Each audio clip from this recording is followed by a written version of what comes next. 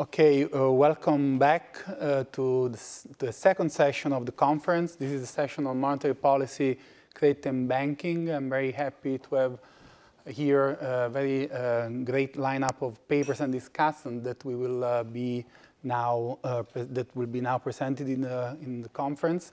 The first paper will be by Oscar Jordà from uh, University of California, Davis and the Federal Reserve Bank of San Francisco. The discussant uh, will be Margherita Bottero from Bank of Italy. Then uh, we will uh, uh, hear a second paper by Shebnem Kalemni Ozkan by Brown University and uh, Katharina Bergant from the IMF will be the discussant. Both paper uh, in my opinion, great papers that speaks to the uh, transmission of monetary policy, to structural features actually of transmission. One questioning the long-run uh, neutrality of monetary policy, the other one instead uh, going more granular in the bank firm data and looking at the uh, interaction between uh, market structure, financial constraint, and the strength of monetary policy transmission. Without further ado, I'll give the floor to Oscar.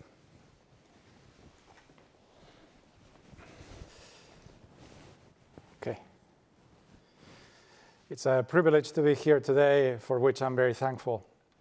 Uh, this is joint work uh, with my colleagues Sanjay Singh and Alan Taylor. All of us have joint appointments with a university and a central bank. In the case of myself and Sanjay, we both work for the Federal Reserve Bank of San Francisco. Alan Taylor just joined the Bank of England's Monetary Policy Committee and therefore I will be very punctilious in noting that these are our views and not the views of either Federal Reserve Bank of San Francisco, the Federal Reserve Board, or the Bank of England, especially given the contents of the paper. So let me tell you what the paper is about. a few years back, we started doing research and noting something curious, which was that when you looked at the responses of output or economic activity more generally to interest rates, it felt that it took a long time for output to come back to the initial state. And in fact, the more we started looking at this, the more we realized that the literature had also found this result. It's just that it felt that it wasn't a result.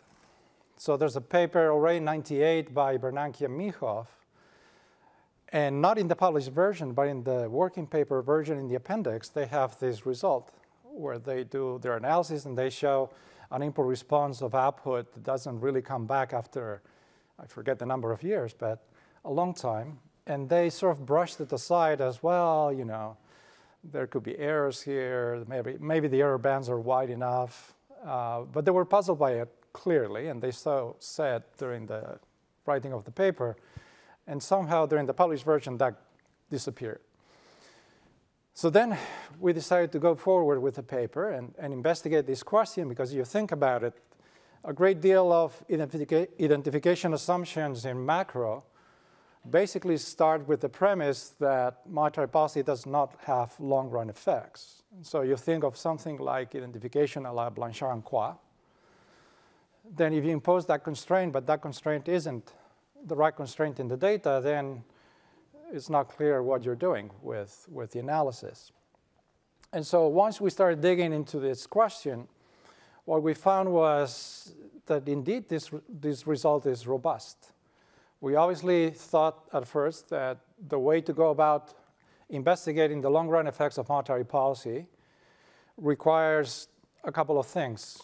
One is to have a long time series to see whether this effect is really something new or something that has always been there. And second, to look at a panel of countries to see whether this was specific to the US or was it more generalized. And so naturally, having done work with historical data, we pivoted, pivoted toward using long time series and, and a panel of data. And the results that, will, you, that I will show you in a minute basically indicate that indeed there are long run effects of monetary policy on the economy. And when you think about it for a little bit, perhaps isn't as surprising as we've come to believe. So, you know, there's a quote in the paper from Ricardo back in 1790X, something like that. So it's been over 200 years of orthodoxy that we've been trained to think about monetary policy as not being really a tool for growth, which indeed we also find. But we also find that is a tool that can have long run consequences. In other words, you can be in a state in which you can have stable inflation and low unemployment and yet not have achieved as much potential output as you could have otherwise. And that's because, if you think for a second, when you raise interest rates and investment declines, one of the categories of investment is, for example, research and development. And you think to yourself, well, research and development is probably one of the things that helps improve total factor productivity. And total factor productivity is the engine of growth. So that channel alone should already alert you to the fact that perhaps monetary policy is not as neutral as we've been taught to believe. Does that mean that we should therefore revise the way we write our policy rules? Well, that's also not as clear as you'd think. Because the fact that monetary policy has long run effects does not necessarily mean that we have to revise our monetary policy rules. Having high inflation is itself something that has tremendous welfare implications. And so, if any of you have been following the uh, electoral campaign in the US, you've probably noticed the discomfort and the discontent that the electoral uh, public has with high inflation. And so it's clear that the central bank has a very definite mandate to maintain inflation at target. And the fact that our results exist does not negate that. So I want to be very clear about that because there's the risk of overinterpreting what we find. All right, so on with the show. So here's uh, another piece of evidence that we're not the first to think about the role of demand shocks and whether they have actually long run effects on the economy. so here's a quote from now Secretary Treasury uh, Janet Yellen, previously chair of the Board of Governors. But in that speech that she gave, that's quoted in the slide, she clearly thinks that demand shocks can have effects on the economy that last for more than we've been accustomed to think. And so we said, well, let's go ahead and, and ask that question more formally. And as I anticipated, we require three things. One is get data. Well, that part was easy because we've been doing research on historical data for a long time. And we've been publishing this data publicly and making it available. So that part was the easy part. The second part was, well, you need some method of identification of a monetary policy shock. And that part, I think, we also sorted out to at least what I think is a satisfactory way, and I'll discuss it in more detail in a minute. But in a sense, we borrowed it uh, from a previous paper. And the third paper is, well, what approach should we use? Now, I'm contractually obligated to use local projections. but there's actually good reasons to use local projections in this particular setting. There's a new paper by um, Pepe Montiel Olea and Plagborg-Møller and two co-authors whose name I should remember because I'm sure they will become very prominent very shortly. In that paper, they basically argue that um, local projections uh, relative to VARs are robust to misspecification. And not only that, but they actually provide the correct confidence coverage for impulse responses, even though they have bigger standard errors. And the reason is that VARs basically tend to suffer from the problem that we tend to put too few lags. And so even though they're more precise, in a sense, they're more biased, and when you put those two things together, even in situations where you might think that the amount of misspecification is small, they actually end up suffering more from bias than local projections do. And therefore, in a setting where you're very interested in getting the long run correctly, using a VAR is more problematic than using local projections. So what did we find after we put these ingredients together and we thought about this problem? Well, we looked at data and we ran the experiment over 12 years. And over the 12 years that we run the experiment, real GDP remains lower than um, relative to its pre-shock trend. And that seems like an awful long time for GDP to be below trend. And you'd think, well, you know, in Europe especially, we're very well aware of labor hysteresis stories. They've been with us at least, at least when I was growing up. That that was the a, a, a big explanation for Spanish unemployment and and things of that nature. And so, what's surprising or was surprising to us is that this was not a story of labor hysteresis. It's a story about capital accumulation and TFP growth. And so that to, to us was eye-opening. Of course, retrospectively, once we thought about it, it, it became much more natural. The other question that we investigated is, of course, is it raising interest rates that generates this issue, or is it lowering interest rates, or are they symmetric or not? And here I go back to the introduction where I said you can't really stimulate the economy into high, achieving a higher plane of potential growth, but you can definitely uh, prevent the economy from reaching that plane. And so we'll talk a little bit about sign asymmetry. And finally, I will conclude by saying we are not the only ones that have found this recently. And we're not the only ones that have found this for the US. And there's examples for the UK. I will only show you one set of examples.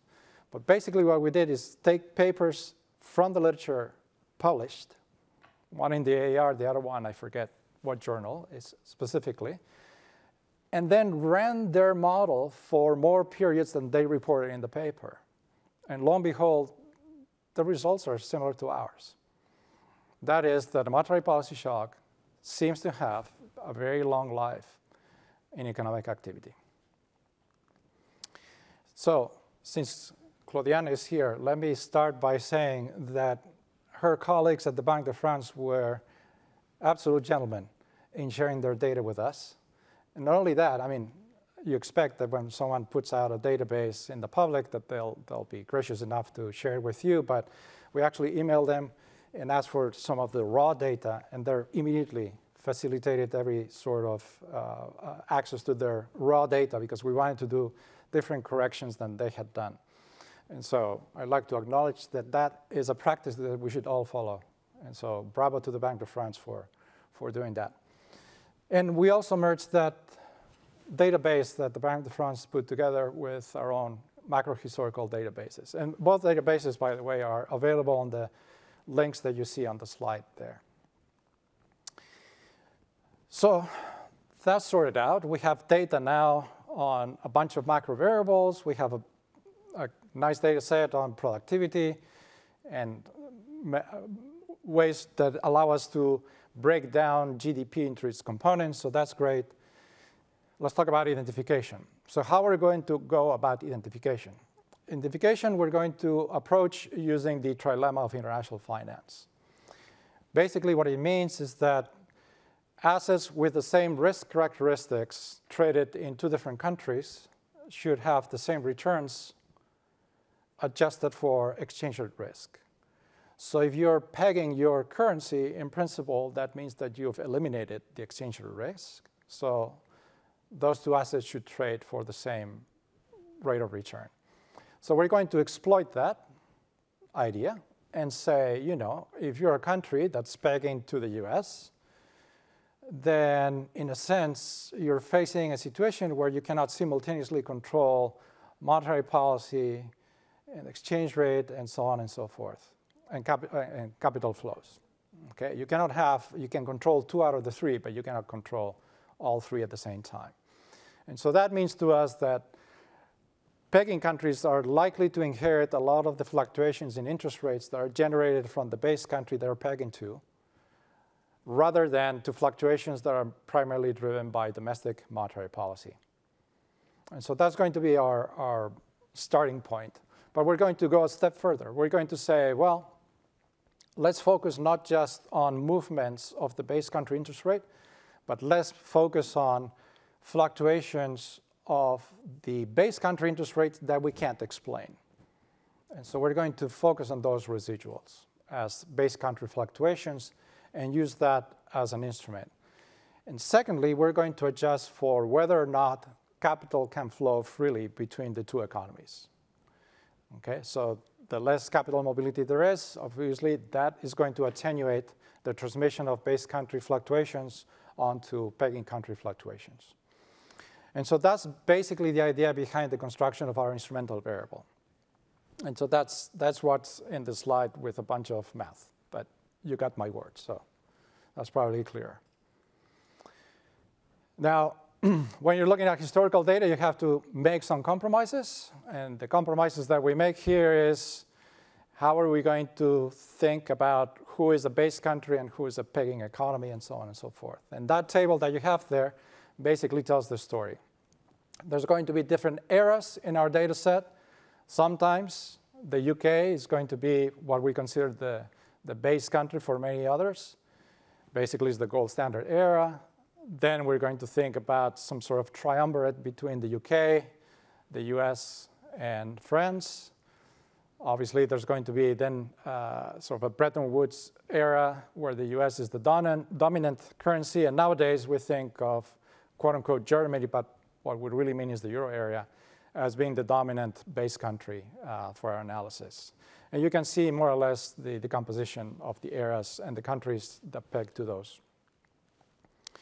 So the first question is, well, how about this instrument? How good is it? And so this is a, a table that basically tells you what the pass-through is of those base country monetary shocks onto the pegging economy uh, shocks, interest rates, sorry. So if you look at the table itself, it says that for every 1% uh, change in the base country unexplained interest rate, um, you get about 59 basis points of pass-through. And that's actually happens to be very similar to what other people have found in the literature, where they were just looking at the trilemma itself. If you look at countries that don't peg, the pass-through is much smaller. It's about half, 27 basis points. But still, it's actually pretty significant. Okay? So we're going to use both, realizing that each of them has a different pass-through. We're also going to control for a bunch of other macro variables. You have a list there, the usual suspects. Basically, what we want to do is say, okay, in addition to all that we can uh, explain using these macro controls, we want to then make sure that we're using exogenous variation in whatever country we're looking at. So we have this combination of control and instrumental variables. And so you have there, our specification is going to include two lags, and the transformations are the ones you would expect. Our sample is going to start in 1900 because the Bank of France data starts a little later than our data set, but otherwise you can see uh, the sample there. So then we're going to approach this problem by using panel local projections, using instrumental variables. And so we're going to use the cumulative change in output and we're going to look at the change in the interest rate instrumented by our instrumental variable, and on the right-hand side, having all those controls that I described in the previous slide. And the focus is going to be on the coefficient beta. Beta is going to measure the impulse response to an interest rate shock. Okay? And that's the headline result. So this was the first thing that we had seen in a number of our previous experiments was to say, you know, um, 12 years after, after the shock, GDP is still about 4% lower than it was at the start of the experiment. And so we thought at first that there must be something wrong. So then we said, okay, let's break this down a little bit. Uh, let's first look at what happens to interest rates. Maybe is that the shock to interest rates is very persistent. And so that's why it's generating this declining output. But in fact, the short-term nominal rate seems to go back to its original level fairly quickly, at least relative to the 12 years that we're plotting. And we also wanted to have a sense check. Basically, you expect that if you raise interest rates, inflation is going to go down. And so that also turned out to be the case. So that was good news. And of course, you know, you do a bunch of robustness checks, and there you have a list that's quite extensive. And every time we had a referee report, we added one more to the list, or two more to the list, or three more to the list. And that list kept getting longer and longer and longer. And that's because the referees came back to us like, I see nothing wrong with your paper, but I just don't believe the results. And so we just had to keep going and keep going. Well, okay, where, where does that result come from? What's the mechanism? So here you have the composition of that original impulse response on the, on the what is it, the left-hand side. And now we're going to look at its components. We're going to look at what happens to labor, capital, and TFP. And this was also surprising to us. It's like, oh, wow, not much going on on labor. Everything seems to be about capital and TFP. I said, wow, okay, well, that's very interesting. Let's dig a little bit more into this. What about if you look at constructions, meaning you raise interest rates? Well, you have pretty much a picture that says real GDP declines by a little bit more. Labor does uh, show up as having a little bit more hysteresis, but it seems to go back after a number of years. But capital and TFP here seem to decline by quite a bit. What if we go the other way? Ah, the other way, nothing. So you lower interest rates, it doesn't have much of an effect on real GDP.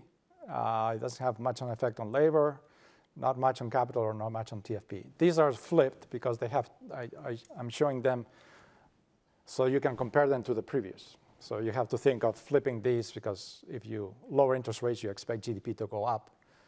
But I flipped them so you can compare them to this picture. Okay? Okay. Well, what about other people? Okay, so here's an example. Uh, this is from a recent paper in the AER by Brunnermeier and Chris Sims and uh, uh, Palia and Sastry. And so the, the original paper, I think, showed something like 48 months, and it stopped there. And we said, okay, um, well, let's, let's, run the, let's run the movie uh, a few more months. And so there we run it to 96 months. And what do you see? Well, industrial production, in response to a monetary shock of 1%, seems to not go back to its initial state in the 96 months that we plotted. If you look at UK data from Miranda Agrippino and Ricco, can't remember the, the journal, but anyway, it's, it's a completely different setup, different, completely different VAR, completely different identification. They use some sort of uh, Bayesian approach that's different from Brunnermeier and co-authors. This is US data, theirs is UK data. Everything's different, and the picture is the same.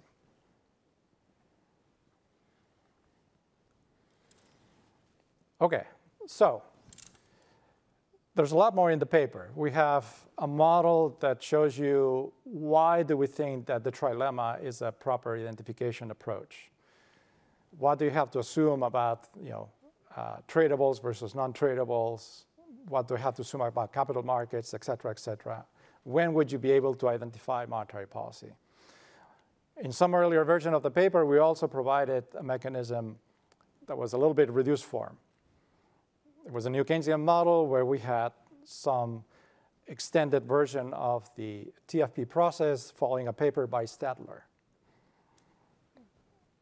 That got washed away with subsequent referee waves.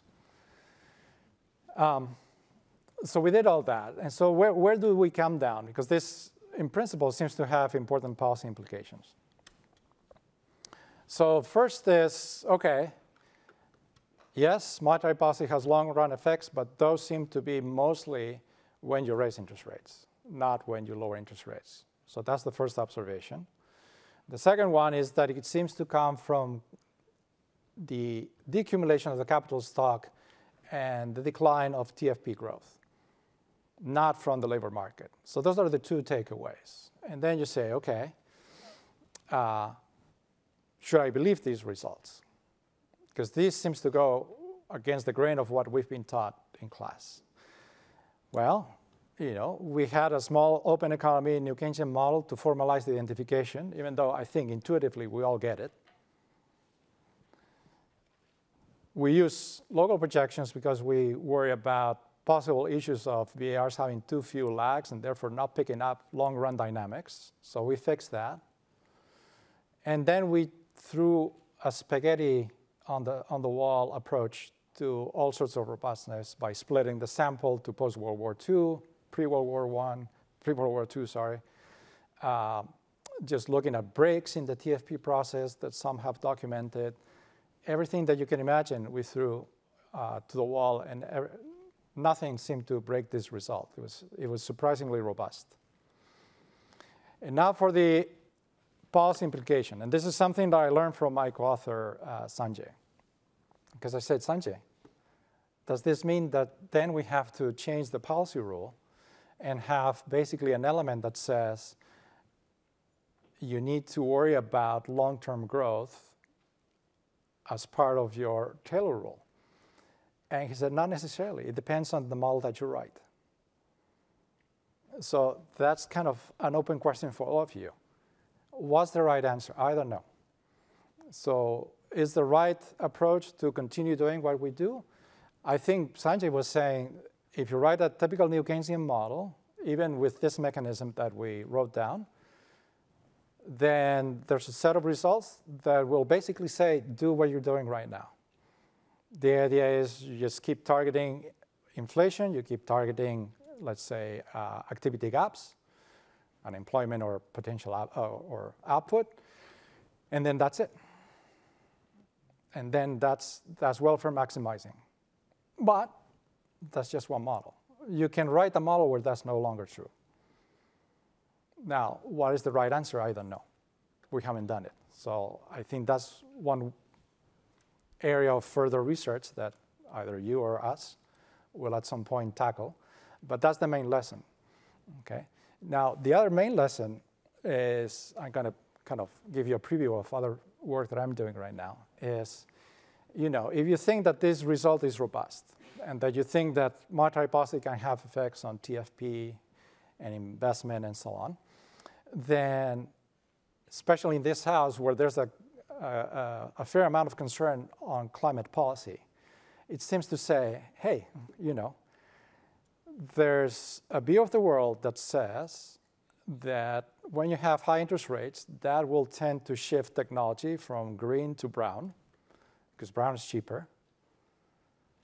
And because this seems to have long run effects on investment and capital, those will tend to basically delay investment in green technologies.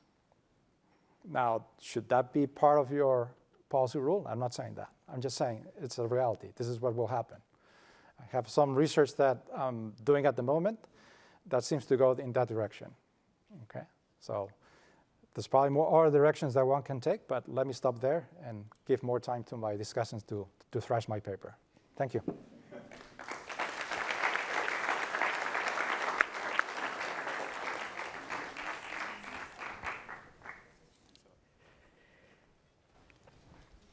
Okay, so thank you for, to the organizer for having me here. I come after all the many referees, so not sure what is left to say, but I'll try to suggest avenue for future research. Uh, the views that I express, of course, are just mine again. So as uh, Oscar was uh, saying, the paper really is about uh, long-run money neutrality. And Money neutrality is something that we have been taught in classroom and that generation of practitioners have been living with. And in a nutshell, what it says is that you can play with monetary aggregate as much as you want to steer the economy in the short run, but then in the long run, you don't have to pay any price, uh, or there is no gain to be made. And this paper basically challenges this notion, and it's not the only one. So maybe, uh, especially fitting for, for an audience like this, it's time to rethink the whole approach to, to the issue. More narrowing to this paper, I see uh, with uh, three independent contributions. And each contribution has its own value and it will have a, uh, a tremendous impact on research from uh, future work. So first of all, the author presents a new identification strategy, uh, which is solidly founded in a theoretical model to um, establish the causality from monetary policy to real outcome, which is uh, clearly marred with endogeneity. Uh, the second contribution is methodological. So uh, the author extend the local projection methodology so to deliver consistent, uh, very long-run impulse response function, and again, very useful for other type, for answering other type of questions. And finally, they put together these two methodological blocks to address the question of the paper. So is money neutral in the long run? Does monetary policy have long run effect or no? And if it has them, are they symmetric or no? Uh, there are two charts that are the takeaway from the 90 plus long paper. And I say this as a compliment because it's difficult to condense uh, such a rich paper in two charts. This is the first one. So what you see here is the response of a 100 basis point contractionary shock on real GDP. It's big and uh, it lasts very long, more than 10 years. And more than that, it doesn't come equally from all the three basic components from GDP, but it comes mostly from capital decumulation and uh, TFP. And uh, more worryingly, this very long effect comes from uh, tightening shocks only. This is a chart taken from an old economic letter. I, I assume is qualitatively still valid. So. But, but this chart tells you that uh, you, know, you can play, when you do something uh, contractionary, then you will have longer effect on real GDP. When you do the same action with the opposite sign, then basically nothing happens. So this is the paper.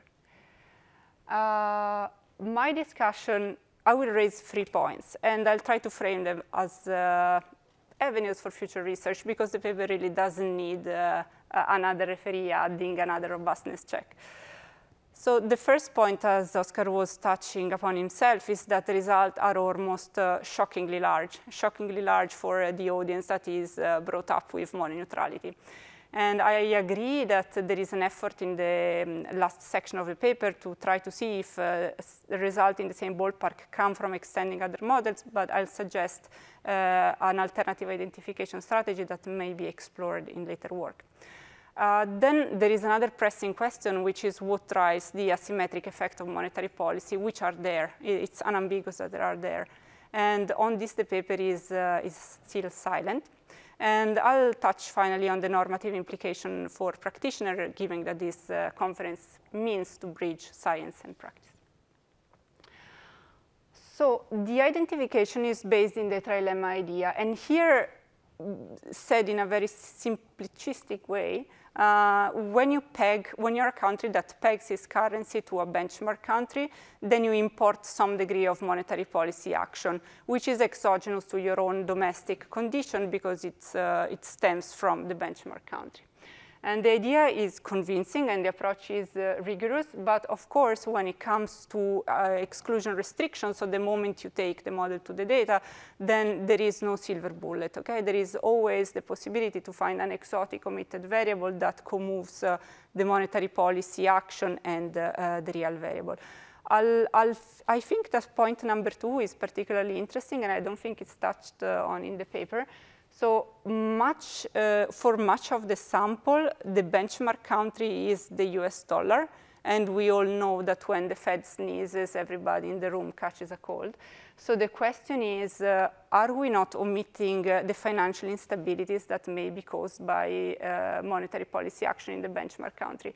Because then it could be, if you don't control for, for, this, uh, for these dynamics, that uh, uh, when the benchmark moves the monetary policy, it creates financial instability crests that cause uh, uh, GDP stress in uh, the um, in the PEG country.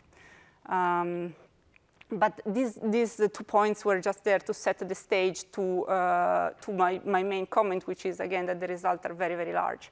And, and I really like the local projection methodology as any applied microeconomist. So uh, when I was thinking about way to robustify this result, I thought that certainly we want to maybe move away from the PEG benchmark country framework, which is the one that leaves open uh, the door for this omitted variable problem, uh, improves a little bit maybe on the monetary policy shock identification because in the paper these are uh, proxied by yearly changes in, in interest rate while the literature has been moving towards more high frequencies approach as we have discussed this morning.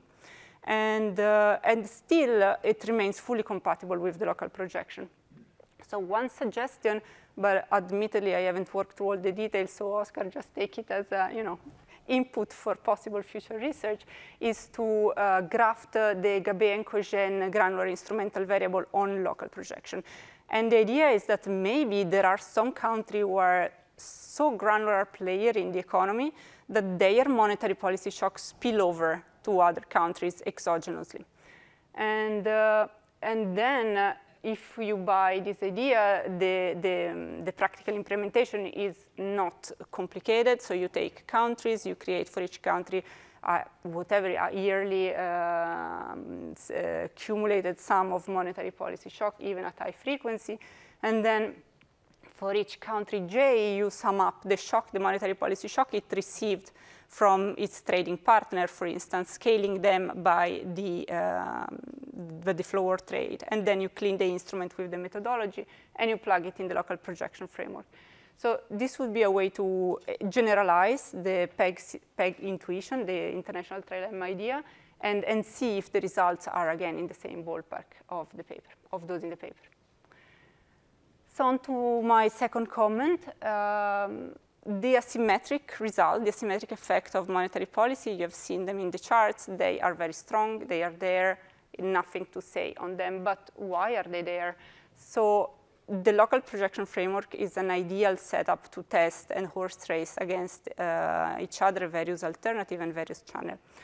Uh, there are many. Uh, I suggest two, uh, which are big absentees in the paper, so financial and credit markets. And, uh, and my question is for the author is, do financial and credit market respond in an asymmetric way to tightening and loosening, and especially respond uh, to tightening shock in a way that subsequent loosening shock cannot undo? And what you see here in this chart is, is purely narrative, so purely for the fun of it. It's the level of credit standard prevailing according to the Euro area bank lending survey as taking as a base 100 the level at the beginning of the survey, 2002. So the bank lending survey, as the loan officers survey, uh, asks uh, uh, loan officers to report variation over the preceding quarter in their level of credit standards. So technically, very naively, you could cumulate and get the picture that, uh, that I see, that I present here. And what you see here is that uh, credit level, credit level, credit standard level went up uh, until 2008 and then practically didn't respond at all to the long period of low and negative interest rate. So this would hint that there is a sluggishness in, in credit market that doesn't uh, revert when there are loosening. And another culprit could be uh, uncertainty. So we know that uncertainty is related to the investment rate in the economy. This goes back to Bloom paper several years ago. So one possibility is that uh, uh when there are a, a, tightening shock or a sequence of tightening shock, then uncertainty goes up and then uh, investment are pulled back, but they don't um, recover when losing shock, shock uh, happen in the future. Okay, so finally, uh, my last point on normative implication for practitioners. I must say that reading this paper was tough. I mean, if, uh, if we buy face value what Oscar was saying, um, then we are certainly not part of the solution of uh, taking the economy uh, to its uh, full potential. And uh, if you take the euro area, then considering uh, I've taken Jarociński and Karadi shock, but you can take Carlos and the picture would be roughly the same. There have been about the same number of uh, tightening and easing shock. And uh, if, if, we conclude the reasoning with Oscar uh, uh, results, then we might have pulled the economy away from its potential. And this is a thesis that was actually put forward also in a Financial Times article, which I came across later.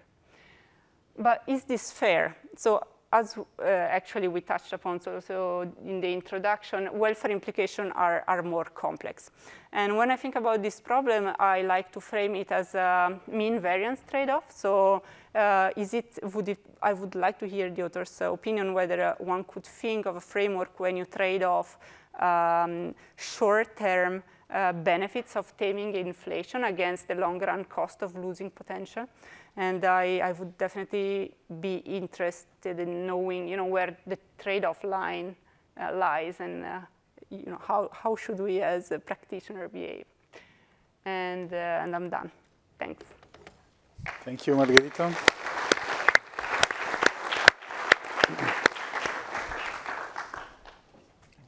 So I would give the floor back to Oscar before collecting questions.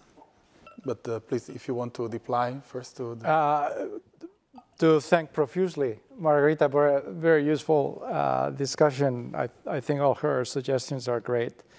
Um, just let me touch on the issue of uh, the exclusion restriction, which we do, and it might have fallen off in one of the different referee iterations, but at some point we had a model, uh, a two-country model with um, uh, an open economy model, and we basically calibrated the uh, extent of possible violations of the exclusion restriction, and then we said, okay, let's give so, some sort of range, and after you adjust for the fact that you have this potential violation of the exclusion restriction using a paper by Tim Conley and co-authors, um, the result basically stays the same.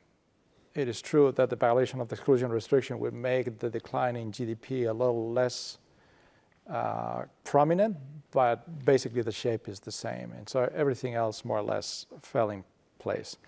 I think the, the last conclusion that you put out is, is the one I wish I knew how to answer because that's really the, the million dollar question, I think. Um, uh, that's why I was very careful since everybody, uh, all of us co-authors have a role in, in a policy institution not to say what we should do. But that is the, the key question to answer based on this evidence. But thank you, that was great. Thanks a lot. Maybe Philip has a question? Sorry.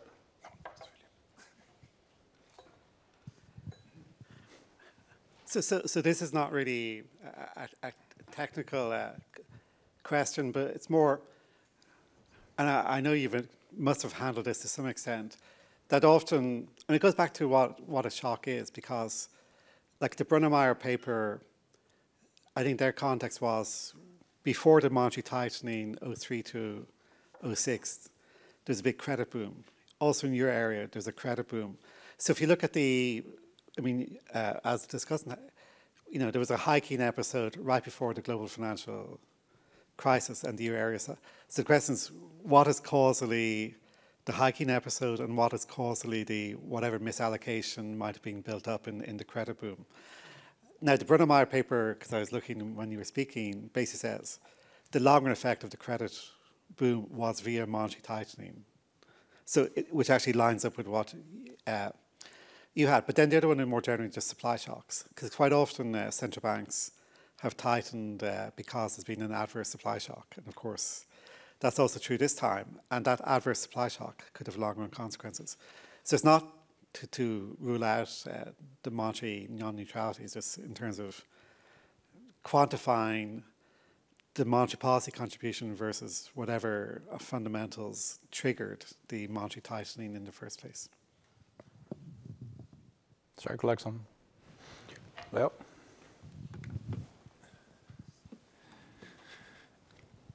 So my name is Leo von Thadden here from the ECB. Um, I think this is a very interesting paper, and uh, the implications are indeed could be uh, troublesome. I have a very, very super simple question. Maybe it's it's it's it's stupid, but you know, based on an observation, if I followed your slides uh, kind of uh, correctly, you use terms like persistent, more persistent over a long period of time when you describe your results, but you do not use the term permanent. Now, from an empirical perspective, this is probably doesn't make a big difference, but from when it comes really to the to the core of the theory and the choice of models, uh, it does make a, a very big difference. And in fact, the solo model itself you know, is known to have very long, drawn-out transitional periods.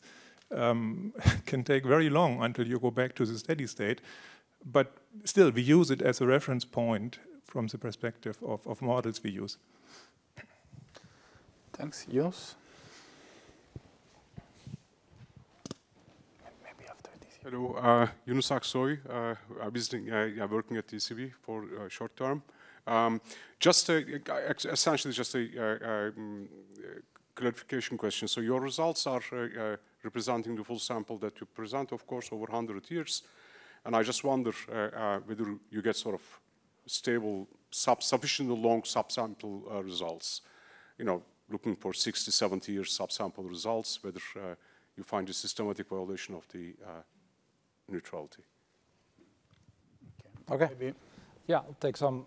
I'll, I'll, I'll answer some of the questions. Um, so I, yeah, I agree with you, Philip, that um, you know the economy is hit by multiple shocks at the same time, and I mean I think this is goes to the crux of what we do in macro all the time, which is you know you try to come up with some identification scheme so you can just parse that part of the problem that you're thinking of analyzing, but realizing that the economy is subject to too many things. So you know.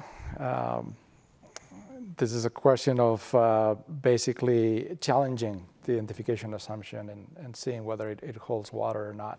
I think, though, your question ties nicely with Margherita's uh, last comment about the role of credit. And that's one area that, even though we've done a, a great deal of research on and, and documented sort of the role of credit booms in, in sort of being a precursor to financial crises uh, and slowdowns in economic activity, you know, it definitely seems like an area ripe for, for exploitation. I think your question about persistence and permanence is spot on. Uh, we only stretched the data as far as we felt comfortable doing it, but it, it is completely true that um, there's a big difference between it lasts a long time versus it lasts forever, from a theoretical point of view. Now, you could argue that with uh, any reasonable amount of discounting, when you get to 12 years, you're pretty much pretty close to permanent, but obviously our paper cannot speak to, to that distinction, which is clearly important from a theoretical point of view. Mm. In terms of subsamples, um, so remember that we have 17 countries, so we sort of uh, we, we estimated things over a full sample and also over a, a post-World War II sample, and there we have to rely basically more on the cross-section than on the time series, but that's the beauty of the panel that you get to, to do those things. But um, it, it, was pretty robust. I mean, you saw the list of things, and part of the 90 pages that Margherita is uh, relating have to do with the fact that referees were rightly skeptical of, of the result, and so we tried to bombard it as much as possible. Okay, thanks a lot uh, again, and maybe we move to the next paper by Şebnem on the collateral heterogeneity and monetary policy transmission, evidence from loans to SMEs and large firms. Please. Thank you very much. Um, can you hear me? Great. Uh, it's a pleasure uh, to be here uh, at this great event. Um, uh, I'm very happy to present this paper, joined with uh, Cecilia Caglio and Matt Darst. They are both at uh, Federal Reserve Board, so the usual disclaimer applies. So what we would like to do in this paper is to study monetary policy transmission under heterogeneity.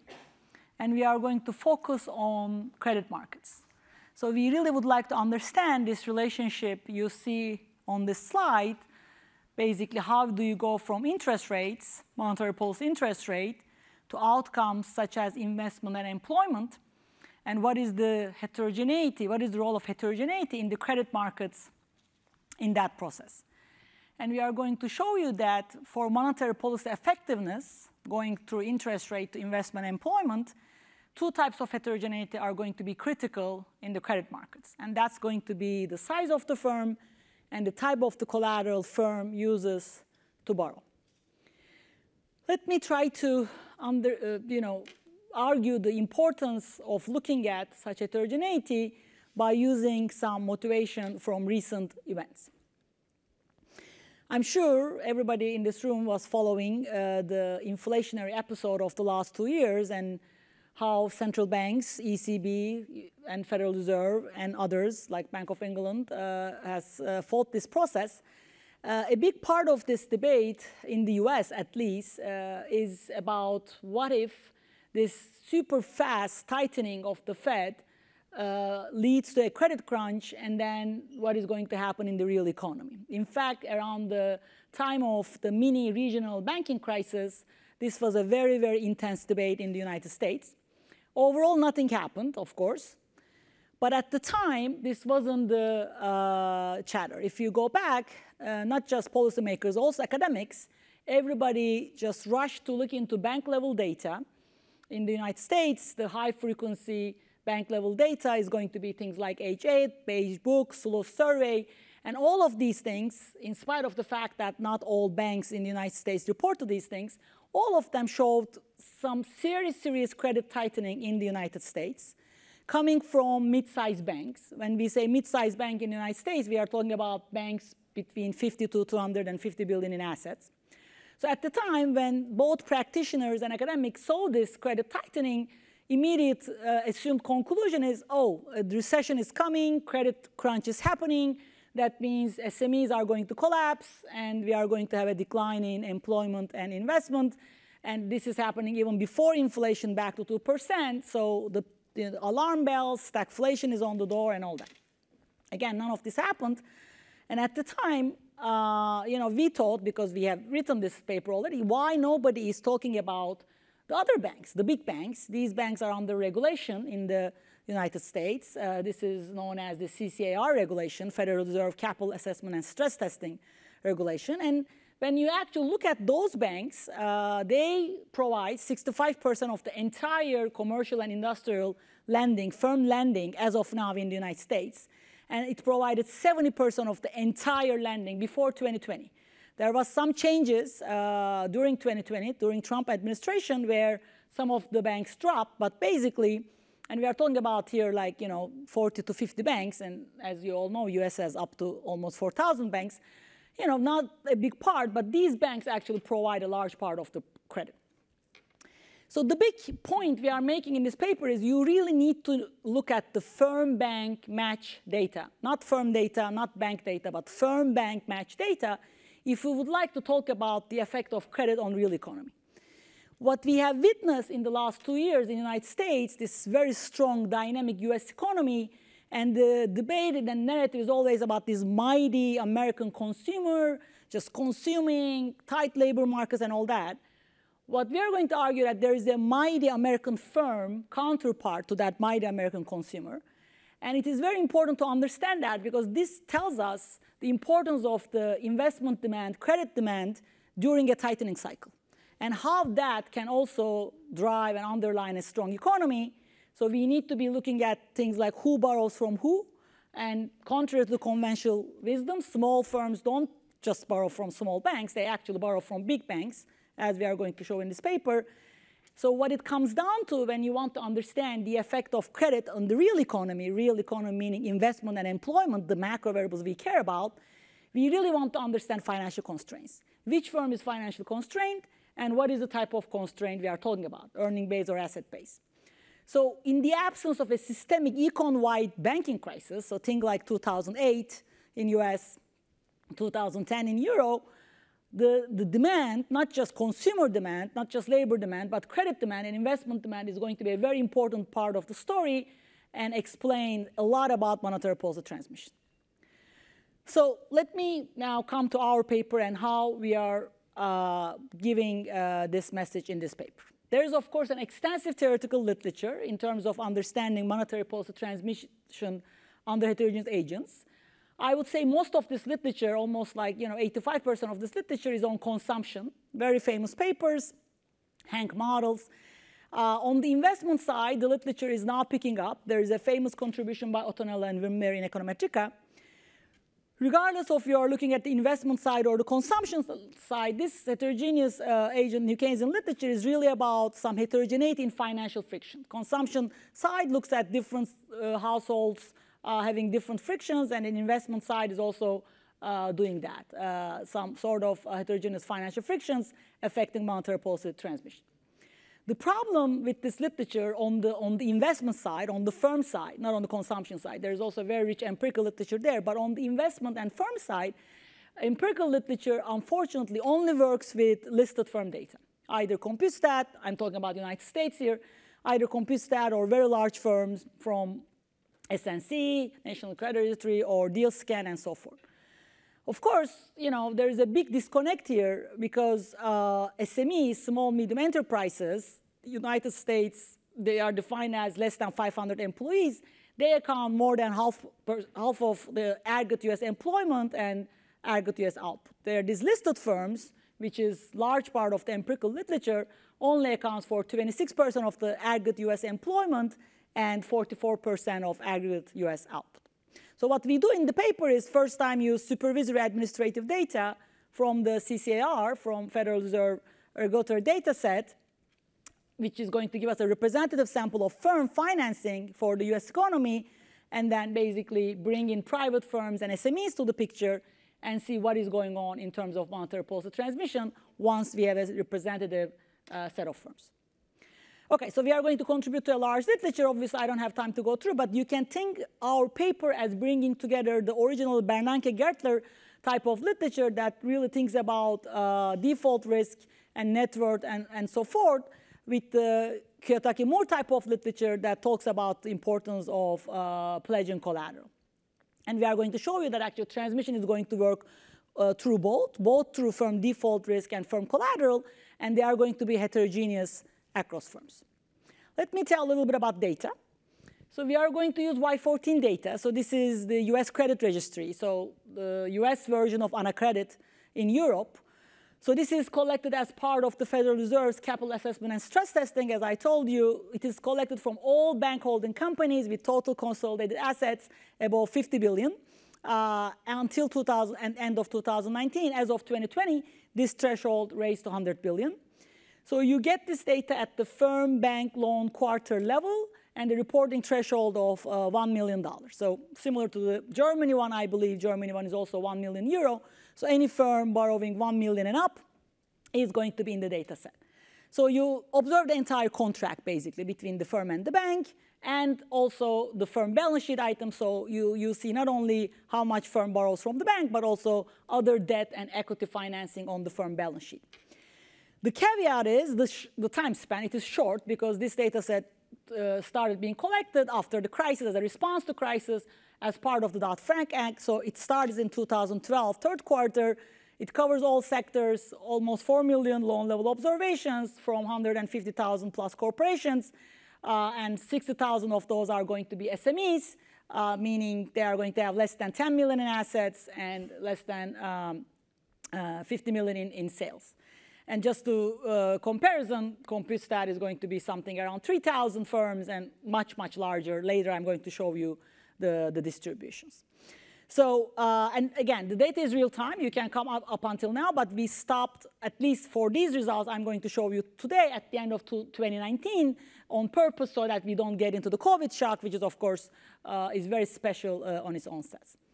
In terms of the coverage, the banks reporting to the Federal Reserve and how we read the firm level data from those banks reporting are going to be uh, accounting for 85% of the entire banking industry in the United States in terms of the assets. What is important for us, they are going to be providing 70% of the firm lending in the United States. So in that sense, we are getting supervisory data on private firm financing, through the Federal Reserve, and this is going to be, that means representative compared to all other firm level data sets used in the literature, you know, Compustat, QFR, DealScan, Capital IQ, Small Business Finance, I mean, all the data sets in the, in the US literature that you don't know of. So Y14 firms overall is going to account for 65% of the US corporate sector debt and 78% of the aggregate US uh, gross output. Okay, so what are we learning new from this data set before I jump to regression that we didn't know before from the flow of funds data? Flow of funds data is the standard aggregate level data, now known as actually US financial accounts. If you want to do anything about corporate sector debt, you just go to this, this data. That's your first stop, right? Now, when you go to the uh, flow of funds and you say, okay, what is the, you know, the corporate sector debt in the United States, there are two series you can download. One is the non-financial corporate business. So the word corporate is very important there because th that word means large, okay? So this is actually going to be pretty much similar to the Compustat data set, large listed firms. When you download that data set, so here you see in the, in the first uh, figure here, I cannot highlight, I don't know why. You, do you see a red dot? No, you don't see. Okay, I'll, I'll keep talking. So that left side, you see, you plot the share of debt coming from different lenders, okay, in the non-financial corporate business. You see a large part is going to come from the bond markets. US has very, very deep and large bond markets. That's known as the market debt, so this is no surprise. And given that those are the large firms, they are going to mostly finance themselves in the bond markets. Bank and non-bank debt, the red and the black, are going to be less. You can go and download another series called non-financial businesses. Now we are going to have smaller firms, although this data set is never ground up. It is not aggregated from the microdata because in the United States, firms doesn't have to report. They only report to the tax authority. They don't have to report to anyone, private firms. So this is based on, basically based on the estimates uh, trying to incorporate from the financial sector reporting. But even, even with that type of estimate, now you get more smaller firms. You see how now the share of uh, market debt, bond market go down. They are becoming equal shares, market debt, bank debt, and the uh, non-bank debt. You go to Y14 data and you ask, what is the share of bank debt of the private firms? And you look at the large ones, you, you know, divide them by large, medium, and small. So the large private firms, you see the bottom dash uh, dot line, it is exactly as in the flow of funds, right? It's kind of 25, 30% at most comes from the bank. But you go to the medium size and the small firms, so SMEs, their entire debt come from the bank. So this fact basically not you know, known as far as we know uh, before our paper. I mean, there's always this sense that small firms are bank financed.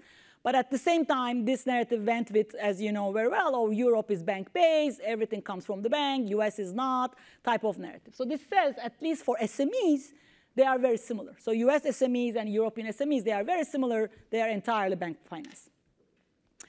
What about the representation? I mean, uh, I just you know, told you that we work with a representative data set. So we plot the Y14 on the left, so you, we separate them as private and public. You see the private firms, the red, most of them are small firms, right? The first bar is less than 10 million in assets, where the public firms are going to be much larger in the blue.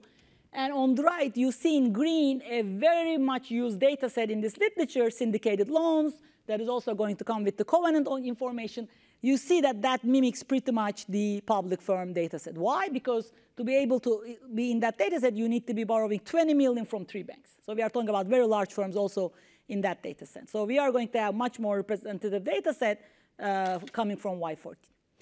What about the financing conditions? Now, private firms and the public firms are going to have different financing conditions. If you just plot the median interest rate, you can see on the left, the interest rate is just much higher for private firms than the public firms. What is very important for our paper is the use of collateral on the right. You see that almost all the loans are going to be collateralized when it comes to private firms, small private firms, dash red line, it's going to be almost everything. And most of the private firms, the solid red line is going to collateralize. When you look at the public firms, you know, generally only half of the that is going to be collateralized, where even you go to the smallest public listed firms, still not all of it is going to be collateralized, meaning public listed firms can also borrow without pledging any collateral in the United States. Okay, how are we going to map this heterogeneity in the credit markets, which is very uh, uh, extensive, to monetary policy transmission? Just taking the stock of what I said so far, first, private firms, especially SMEs, rely on bank credit to a large extent, similar to the SMEs in Europe. Second, when accessing bank credit, these firms are going to face higher interest rate and they, are, they have to pledge collateral. And third, I didn't show you this fact, but it is in the paper, plus it is a well-known fact from the firm dynamics literature, SMEs have higher investment and sales growth. So we do really care about these firms. These firms are the backbone of the economy in terms of growth, innovation, and so forth. Now, how does monetary policy is going to transmit differentially across this heterogeneity in the credit market? We are going to run uh, two simple regression, one for investment, the, the top one in equation one, and one for credit, the bottom one in equation two. Investment regression is going to be at the firm sector quarter level. F is firm, S is sector, Q is quarter. So we are going to use firm fixed effect, sector quarter fixed effect, and then interact our measure of monetary policy shocks. I will come back uh, in a minute with a dummy of high leverage firm. So you see that that dummy is not going to vary over time. So we are going to classify uh, firms into one, zero, high leverage, low leverage, depending on their median average leverage is above or below the median. And then we are going to run a credit version of that. Now, the credit version of the investment regression, of course, is going to be at the firm bank level.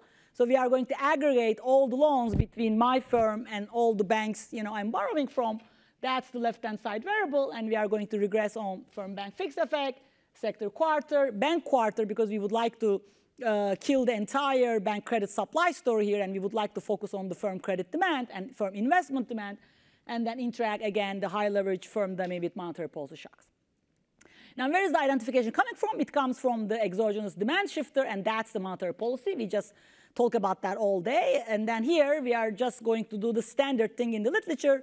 Uh, this is the high frequency identification of monetary policy shocks at the quarterly level. Of course, these things are at FOMC level, so we are going to aggregate it to the quarterly frequency following the same methodology in the Ottonello Winberry Econometrica paper. Now, the threat here is, of course, well, you can have these high leverage firms. Leverage is also an endogenous variable, right? And you can have them somehow non-randomly matched to bad banks, high leverage banks. So this is the beauty of firm bank uh, match uh, level data. So we are going to run this equation three. Now, this is the uh, very typical regression run in this literature, the bank credit supply side, where you use firm quarter fixed effect, and you run the same regression to see if the results I am finding on the demand side is really coming actually uh, from the fact that this firm happens to borrow from a high leverage bank. And again, I don't have time to show you this result, but the answer is no. No, it's not a bank credit supply side story. It is a firm credit demand story because the period we study, there was no banking crisis. All right.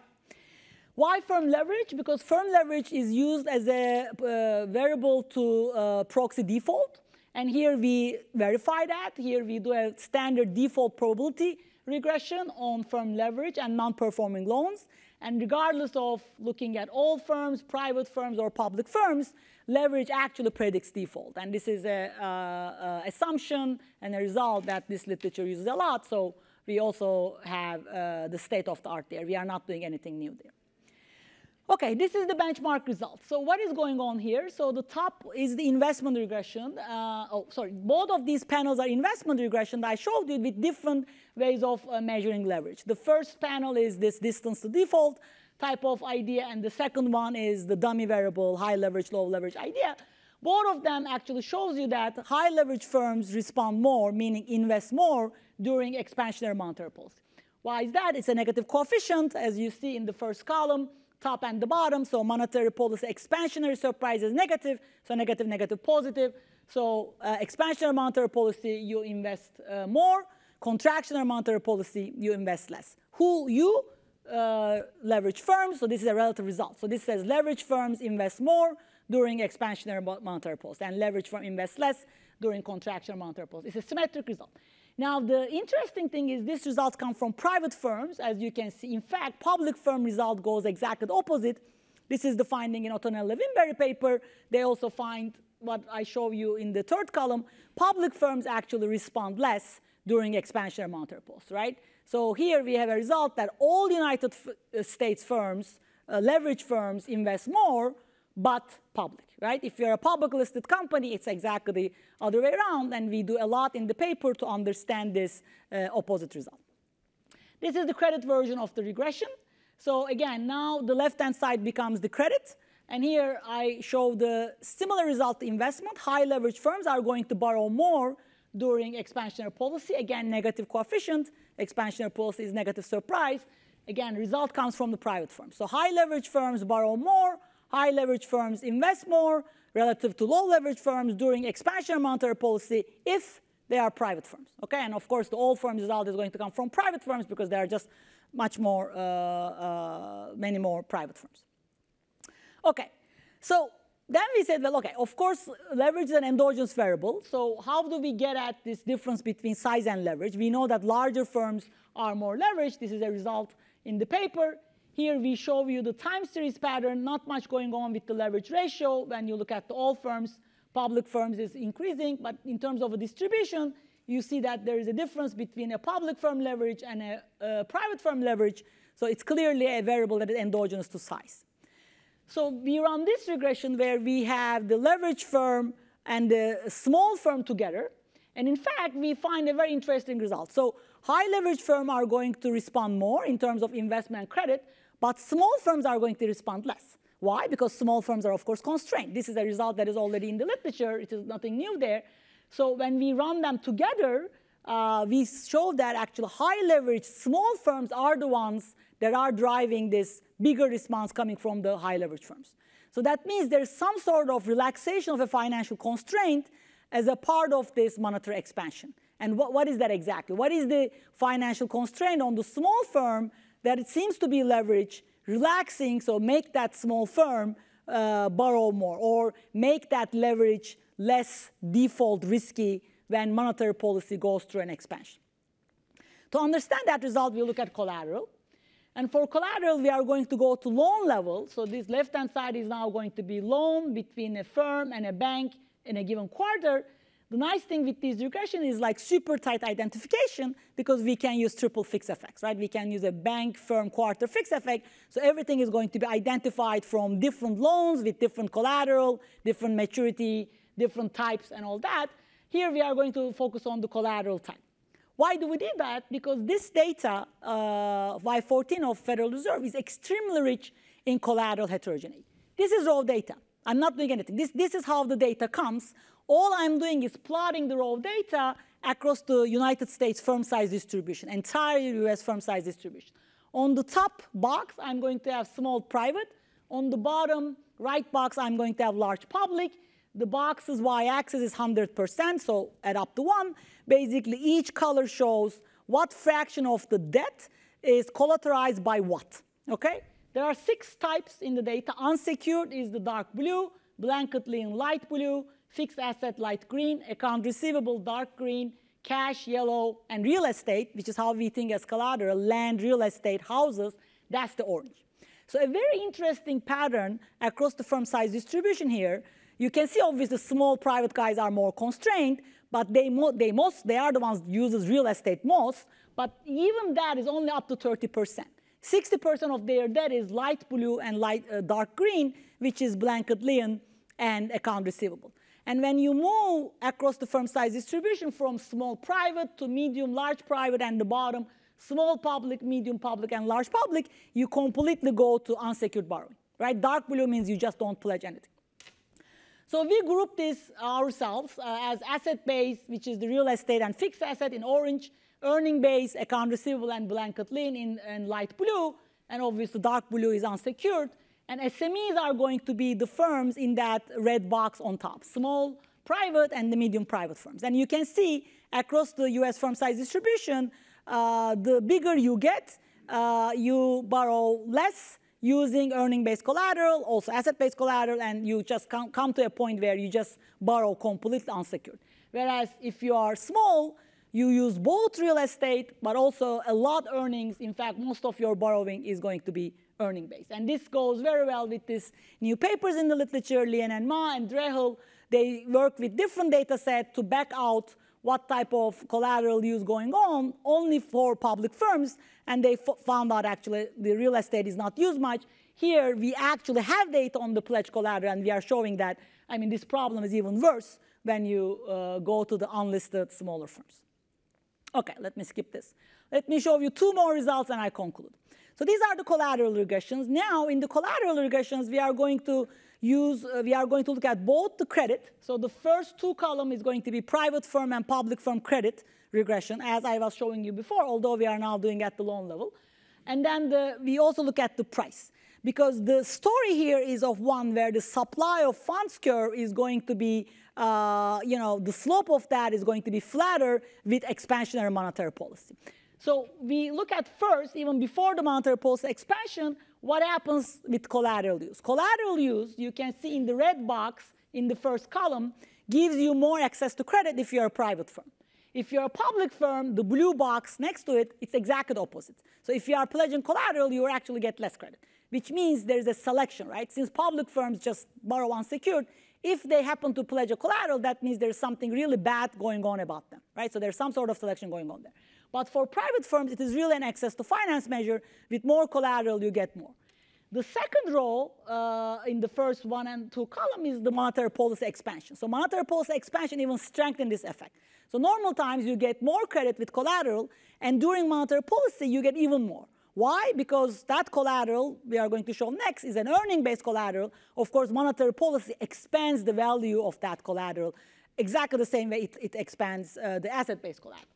On the pricing side, you have credibility on the story because on the pricing side, the column three, you see that your default risk is lower when you use collateral if you're a private firm.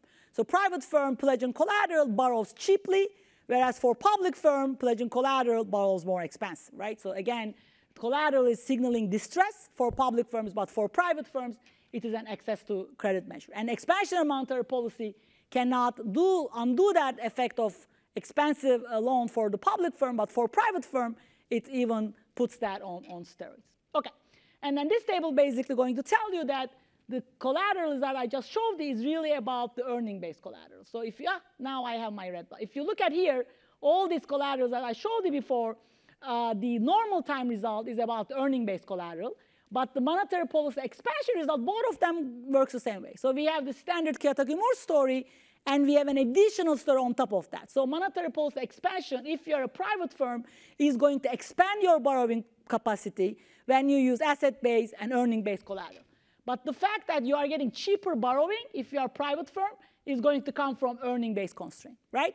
Because earning-based uh, constraint expands during monetary policy expansion because the economy is going to do it. You have more sales, more earnings, and that makes your access to funds at a cheaper rate. So your interest rate goes down. For public firms, neither the quantity nor the price result varies by the type of collateral. This blue box and this blue box tells you that it really doesn't matter if you're a public firm what type of collateral you use. Because normally you don't use collateral. When you use, that means you are desperate that you are using it. So regardless of asset base or earning base, you are not going to borrow more and you are not get a cheaper rate just because you are using collateral as the private firms uh, getting. All right, and the final thing we do is we do a horse race to come back full circle because I started the presentation showing you that high leverage SMEs actually borrow more and invest more when monetary policy is expansionary. Then I showed you that, well, it might be that monetary policy is somehow relaxing their constraint, and I show you that that is because they use a lot of earning-based collateral to borrow. And here, when we do a horse race between them, we see that these leverage SMEs has are actually is backed up by their earning base constraint. They are backing that leverage with earnings. So when monetary policy expansion increase the value of the earnings, your constraint relaxes, your supply, you know, the, the funds become flatter, you get the loan at a cheaper rate.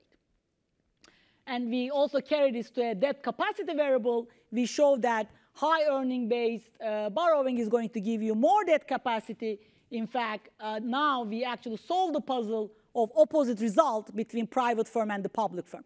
Once we create this debt capacity variable based on earning-based constraint, both public firms and the private firms, they, they now act the same. They both respond more to monetary policy expansions because monetary policy increase the value of earning-based collateral.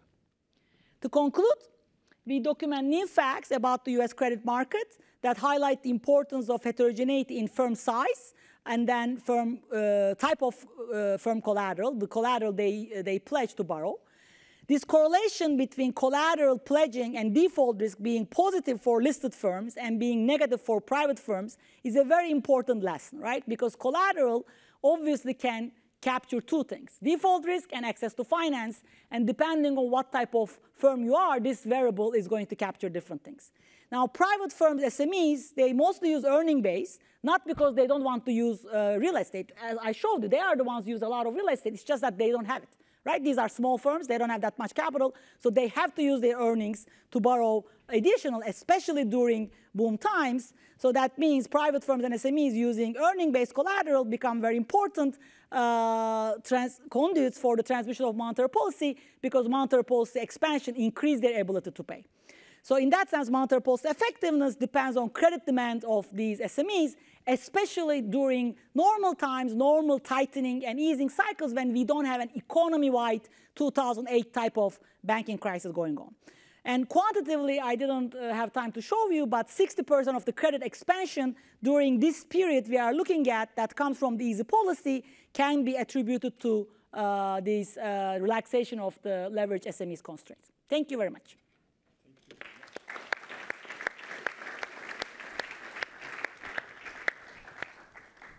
Now Katharina Bergant from the IMF will be the discussant.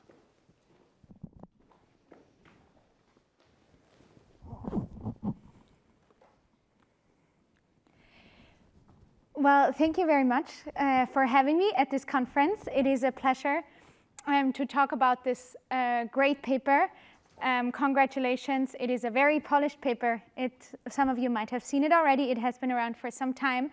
Um, which you can see it was not 90 pages, but equally as many robustness checks. So please uh, take the findings as, as, as Şebnem said them. Um, obviously, there's, the, there's a disclaimer. These are my views, not the IMF's. And also a little bit later, I want to show you some results that have been created with the help of AI that I also have to say. But back to the topic of this paper, um, as it is written in, in the February version that I read, it's really focused on uh, small risky firms and how the transmission of monetary policy through small risky firms uh, can be stronger also because of their collateral. Let me emphasize to motivate this paper is that theoretically it's not really clear whether small risky firms should react stronger or weaker to monetary policy. Uh, there can be models that say for small risky firms all that matters is default um, risk and therefore default premia. So uh, underlying interest rates don't matter that much. And the other side of the coin is that for small risky firms, financing costs are very high, so any change in monetary policy will matter a lot. So this paper uses microdata to really answer the question in which direction this goes. Also, empirically, we have papers really connecting firm size to monetary policy transmission, but not at the loan level through the type of collateral. So this is really where this paper fits. Um, and to further emphasize this motivation, I found this table quite nice. Again, let me emphasize that this is very unique loan level data. At the time, I think the paper was written uh, for the first time, very new uh, data that hasn't been seen before. And as Şebnem said, she pointed out uh, the same stats that collateral seems very important for uh, small private firms. The lower yellow bar shows you that, I think also here, yeah, it's very weak, maybe you can see it, that 91, 92% of small firms uh, use collateral, whereas only 57% uh, of public firms. But even though they use more uh, collateral, they still pay higher interest rates. Um, again, this is probably default risk and so on, but it's obvious that collateral is very important uh, for small firms. And which collateral do they pledge? I use this more aggregated graph. Um, very obvious here, the small private firms, let me jump to the extreme.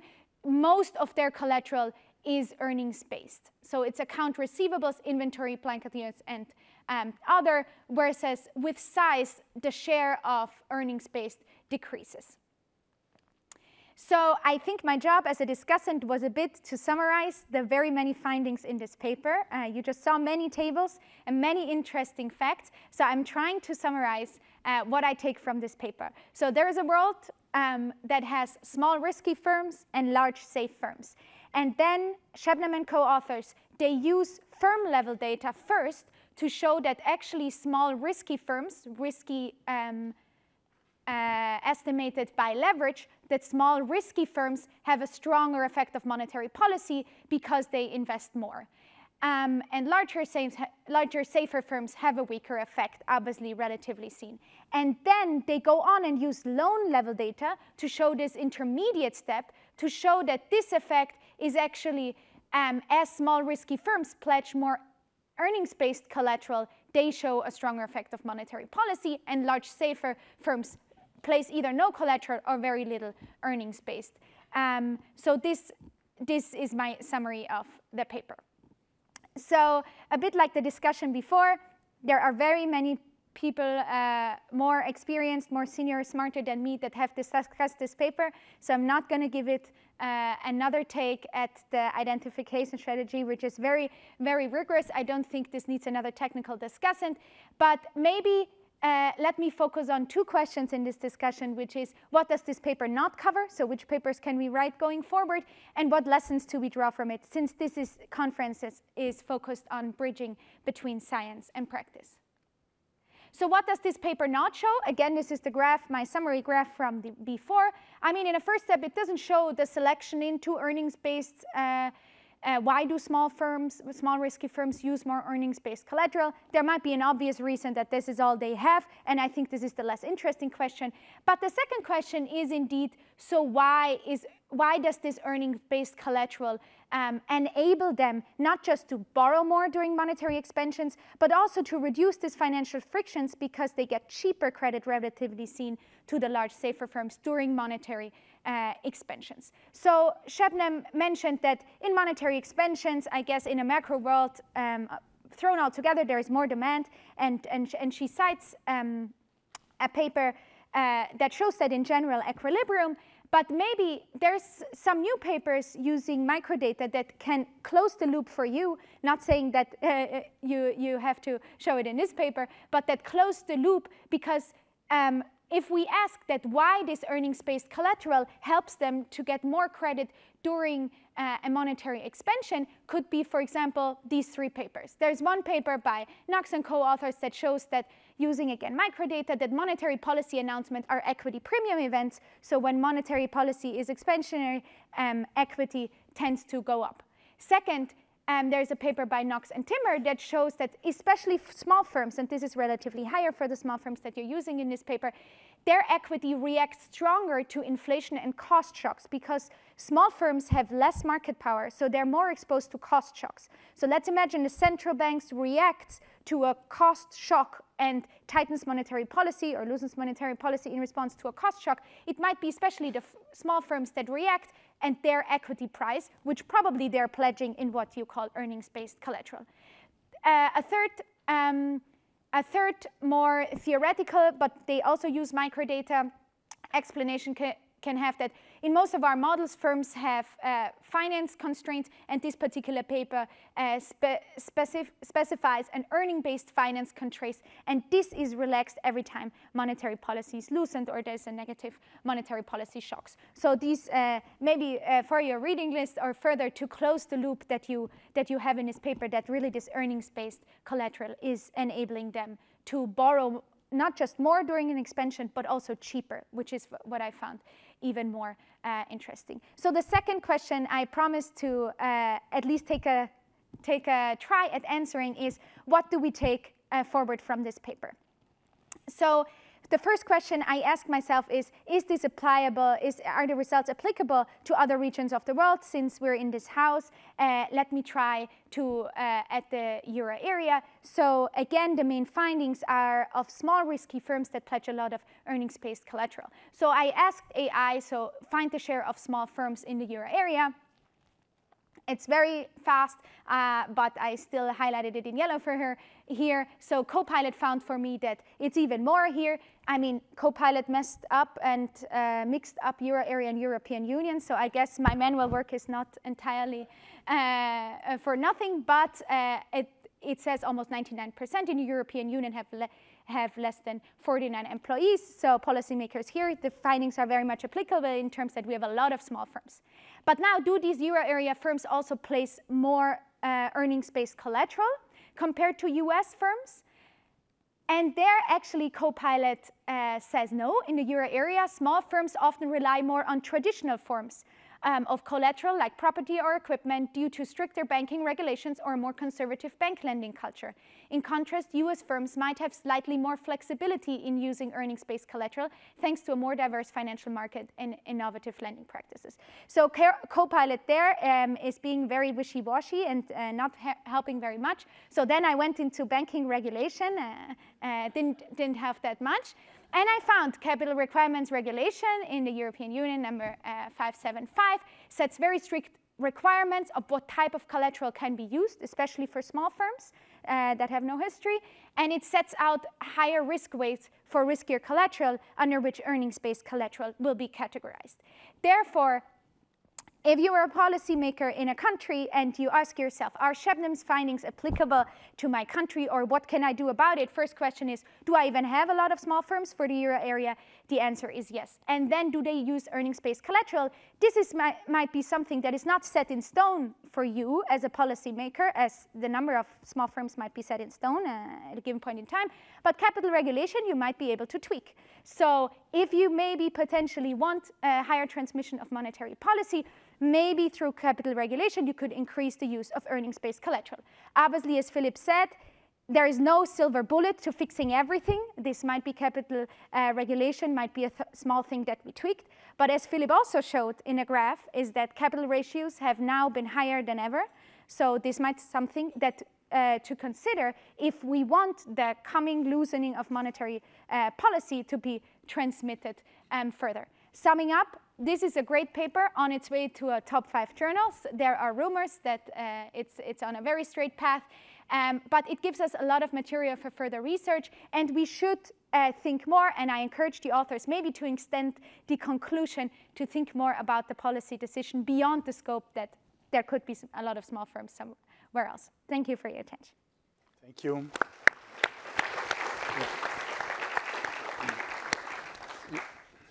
Şebnem, you want to reply first to the discussant? No, great. I, I agree with everything. And uh, no, uh, uh, I cannot say anything about banking regulation and the, the fill uh, thing. so, but it is very interesting. And first of all, we, we should definitely incorporate those papers and the channels. Uh, just, just a clarification point. Uh, I'm sure the regulation is sticker here. And in fact, Nobu Kiyotaki told me that in Japan, firms can never pledge their, their earnings. But here you see we take a very uh, broad, I mean, because, because in the raw data they pledge account receivable and blanket lien, right? Blanket lien is really their equity. Yeah. So it ties very back, it's the value of the firm, right? So, it, uh, but account receivable, that's what Nobu was telling me, it's never allowed in Japan. Europe might be the same, but if, for example, Europe allows that you can pledge a patent, or anything about the value that goes to the again the earnings, mm -hmm. right? I mean, mm -hmm. so basically anything that is not equipment, land, you know, the firm real estate and exactly the, the, firm value. But I fully agree. It's great, great comments, and we will definitely think for more. the next paper. Yes, yes. Thanks a lot. Maybe I open the floor to questions.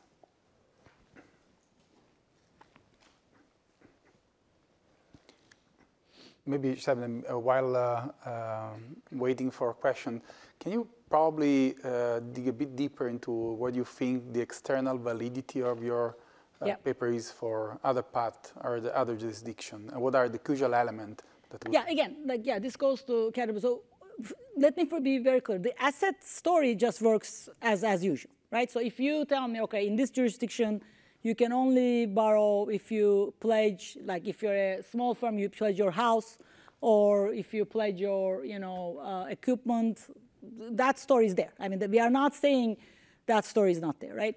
What we are saying is uh, if you know you kind of extend the things that uh, are procyclical in value. I mean, why the standard asset story works? Because of the procyclical values, right? I mean, the good times asset values go up, bad times asset values go down, and that when the asset is a collateral, it gives you procyclical. So the paper overall, in terms of external wealth, is saying if firms can borrow with other procyclical things, right, then then you have this extra kick. That's basically what it's saying. So any uh, you know, type where the banks, uh, you know, give firms more borrowing capacity, more that capacity just because with another uh, asset that's value is procyclical, then monetary policy, that's going to make monetary policy transmission, you know, uh, stronger, right? It also goes through there.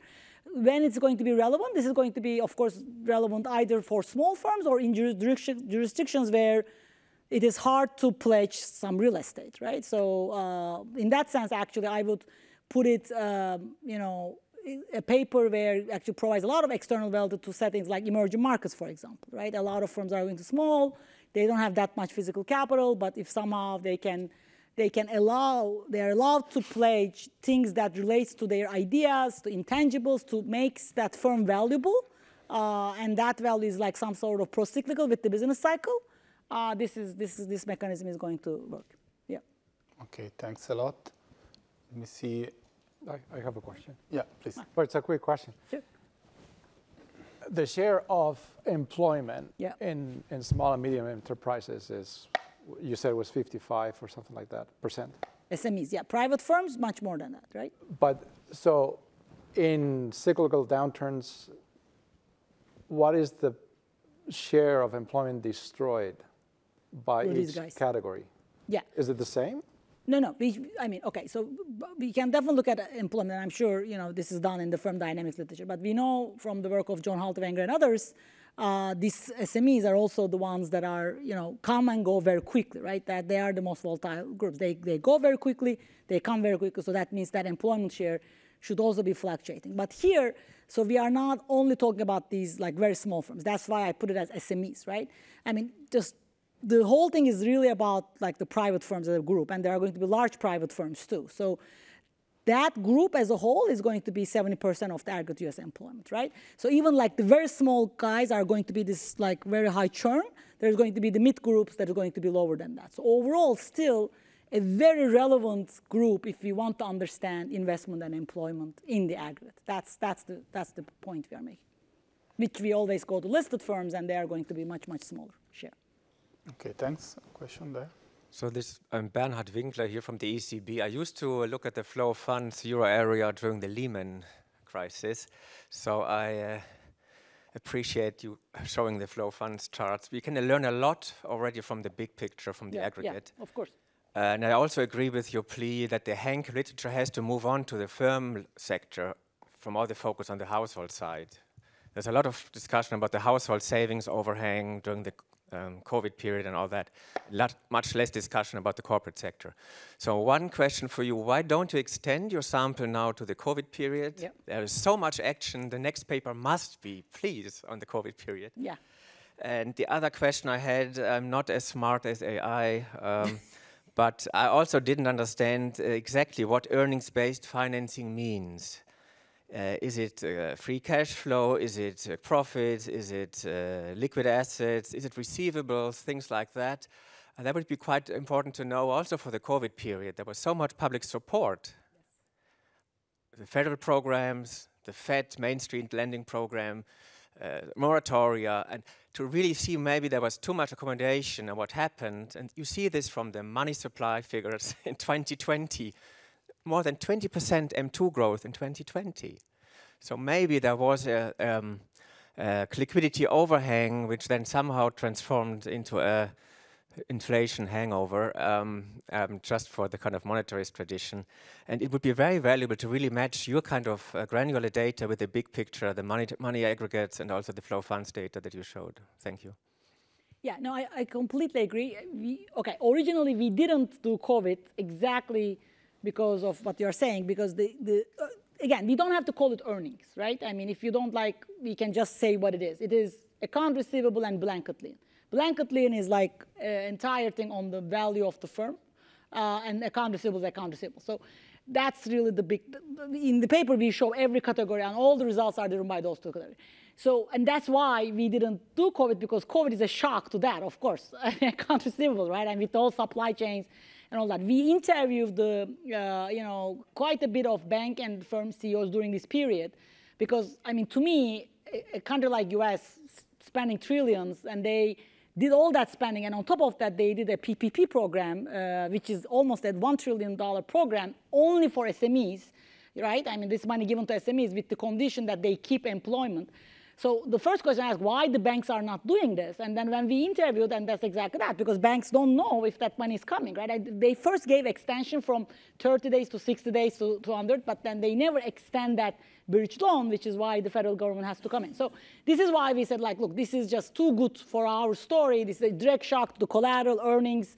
They are not extended credit, so all the results are going to come from that side, so we didn't do it. But now we are extending it, and then we will, because we have these results already, and we are going to extend, which will also give us bigger monetary policy shocks.